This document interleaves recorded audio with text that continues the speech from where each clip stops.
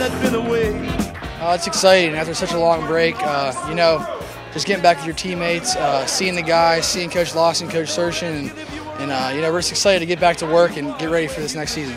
I was good to get back in here with the guys. You know, the, uh, the energy level is real high, the intensity. Um, you can feel the buzz in the air. Everybody's just ready to get back to work and ready to grind it out.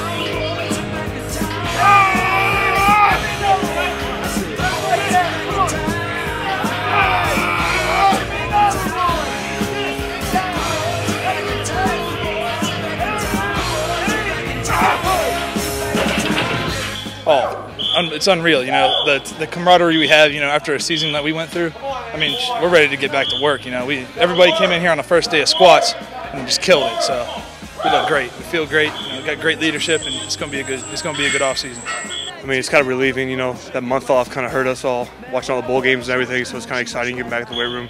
You know, the, this morning group at 7 a.m. was uh, had a lot of energy and was intense and hopefully all the groups will follow it the same way. She slept Johnny's place.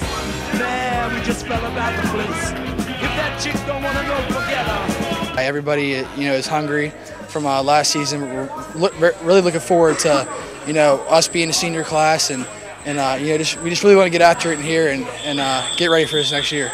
We can't wait for spring ball. That's just the first step to this upcoming season. You know, we're, not, we're not looking back. We're looking forward. We're looking to this next Big East championship, which, which we're going to get. So uh, everybody's excited to get back in pads, and we can't wait.